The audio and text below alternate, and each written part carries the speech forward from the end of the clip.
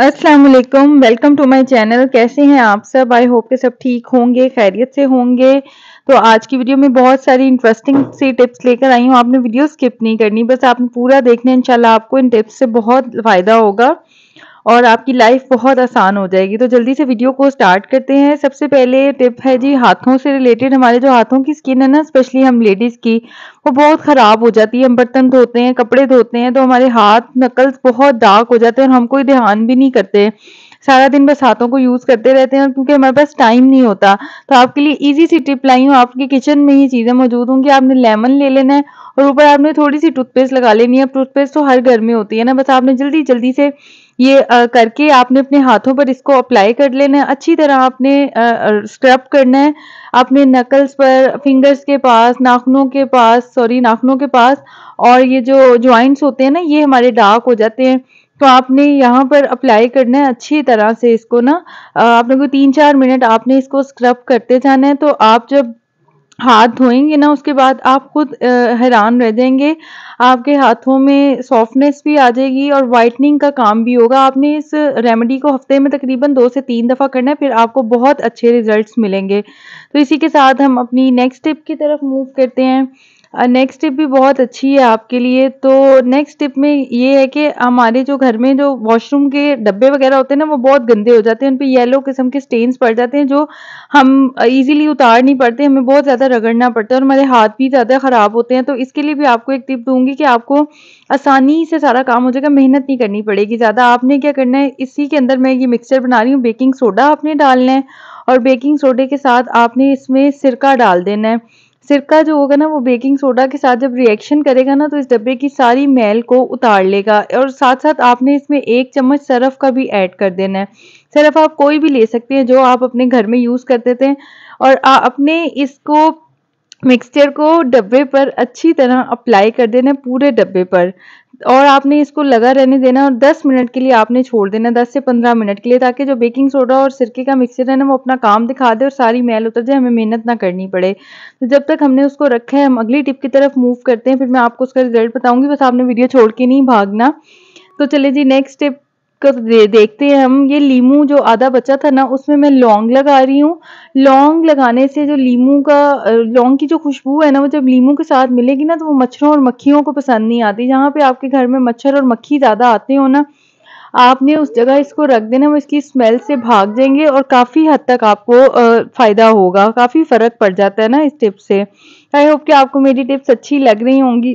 तो बस आपने वीडियो को लाजमी लाइक कर देना है और अगर आप मेरे चैनल पर नए हैं आपने अभी तक इसको सब्सक्राइब नहीं किया तो प्लीज़ मेरे चैनल को लाजमी सब्सक्राइब कर लीजिएगा। मैं आपके लिए इंशाल्लाह बहुत अच्छी अच्छी टिप्स फ्यूचर में भी लाऊँगी। तो बस नेक्स्ट टिप की तरफ़ मूव करते हैं। नेक्स्ट टिप है जी हमारी पेन होल्डर से रिलेटेड हम, हमारे पास घर में पेन होते हैं उनको रखने के लिए अगर आपके पास कोई होल्डर नहीं है ना तो आपको एक अच्छा होल्डर बता रही हूँ। आपने एक बैंगल लेनी है, कोशिश करें कि वो बैंगल स्टील की हो या प्लास्टिक की हो तो ज़्यादा बेस्ट है। तरह आपने बैंगल के अंदर यू पेन को डाल देना पेन के पीछे एक बना होता है ना पिन सी तो आपने उसको इसके अंदर डाल देना है और आप इस बैंगल को कहीं भी किसी भी हुक पर हैंग कर लें, कोई कील घर में लगा कर या अपनी टेबल के पास हैंग कर लें, इससे आपका बेहतरीन सा ऑर्गेनाइजर बन जाएगा और आपको पेन नज़र आते रहेंगे। अगर आपके पास पेन होल्डर नहीं है तो ये काफ़ी बेस्ट है आपके लिए। तो नेक्स्ट टिप है जी, हमारी स्टॉलर से रिलेटेड स्टॉलर हम सर्दियों में यूज़ करते हैं। तो सेफ्टी पिन जब हम लगा लेते हैं ना उस पर तो कई दफ़ा क्या होता है, वो स्टॉलर में ना यूँ फंस जाती है और सारा हमारा अच्छे अच्छे फैंसी स्टॉलर जो है ना, वो ख़राब हो जाते हैं। इस तरह यूँ हमें बहुत परेशानियों का सामना करना पड़ता है। तो आपको इसके लिए एक सोल्यूशन बता रही हूँ, आपने क्या करना है? आपने ना एक बटन ले लेना है, ठीक है? बटन छोटा ले लें या बीड ले लें। बीड ज़्यादा बेस्ट रहेगा, मेरे पास नहीं था तो मैंने ये बटन ले लिया। बटन सेफ्टी पिन के अंदर डाल के ना, फिर आप यूँ स्टॉलर में लगाएँगे ना तो स्टॉलर डायरेक्टली उसके होल के सामने नहीं आएगा और वो हमारा स्टॉलर नहीं फटेगा और सेफ़ रहेगा।